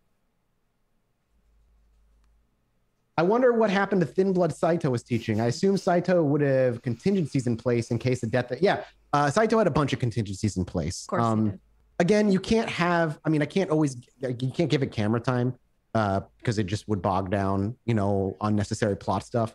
But yes, everything. Uh, Saito had contingencies upon contingencies set up for everything he had going. So, um, it just because he's gone doesn't mean what he was doing stopped immediately. Certainly, things have changed over since he's been gone now. But yeah. Uh, how far along has Mathas been planning from the beginning? I'm playing my own game, but I have trouble planning far ahead of my plot. Um, well, I had an idea. It's it's hard to say because like the, the minutia of every season is not planned. But I had a grand. I mean, I walked in. I think I even said this. I mean, not, I'm not trying to spoil anything here, but when we began this, when we began this episode one, season one, I had said to everybody I had a three season arc in mind. I have an arc in mind. I went in with what I wanted the big bad to be, what each season should generally be uh, tonally, uh, and the kind of general personal stories or at least arcs that I was hoping to aim for in each of the seasons. Um, so I, I'd say I have the general big plot more or less in my head, but little stuff, characters, side stuff. Um, some of it's planned, some of it's not. It just you can't you can't go into planning. You know, Yeah. I uh, that's just not how I I, I I roll as a ST because it's just it, it ended up causing me more headaches than anything else. Because It's more something- like um, you seem like a very sandbox GM to me, Mathas. Yeah. Mm. that's what I was grew up with with sandbox GMs. So that's kind of the style I adopted over time. Like I played basically 18 years with the same DM straight, and he's a sandbox style guy, and that's just kind of the thing I adopted, and uh, just kind of go with I kind of go that way because some of the most amazing stuff happens simply improvis- improvisationally. And so if you have a plan moving in that suddenly wouldn't allow that amazing scene to happen, then you're kind of stuck between a rock and a hard place. So yeah, I guess I hope that answers your question. Mhm. Uh, what was up with Beckett and the woman he was talking to Oh, way yeah. back? Oh yeah, we already got that one. Uh, yeah. I think there was only one left. Uh, that's about. I think Maggie said what we got time for, which is: Are there any Ravnos uh, Salubri in the city? Uh, I mean, maybe that's uh the thing with the Ravnos and the Salubri is that they the rules for them came out really late in the season. Uh, so there was really not an opportunity for me to really in, ingratiate them without feeling like, at least to myself, that I was just putting too much. Forced. Yeah. I'm just like new stuff, new stuff, new stuff. So yeah. it is. It's the same why we didn't swap right over to like Canon Chicago. And it's just a slow Yeah. trickle. Yep. Uh, uh, of Canon stuff because I don't want to overwhelm both the viewers and ourselves. So, yeah. Uh, I, I guess likely there's probably a couple around, but in my own mind, it's not even something I've put thought into because there's not there was no point or benefit to doing so. Yeah. Yeah. Cool. Is uh is anything else? Did I miss anything? Think We probably did. Probably, but that was like the big stuff. Um, I don't know. I guess we should probably wrap up questions. Um, Yeah. says Maggie. Maggie's giving us the cue.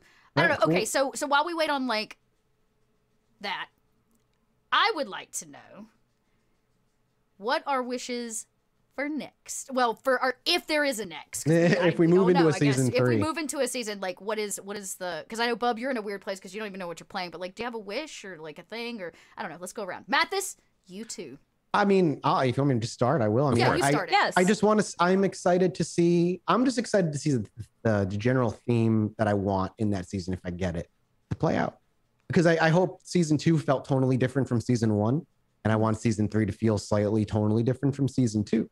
Um, so I I just want all I want to see I is what your characters look like at the Mhm. beginning, because there will obviously be a jump in time Mhm. and at the end when hopefully everything has been answered i i uh i can't really answer, answer that question too much because i kind of already have ideas and stuff so.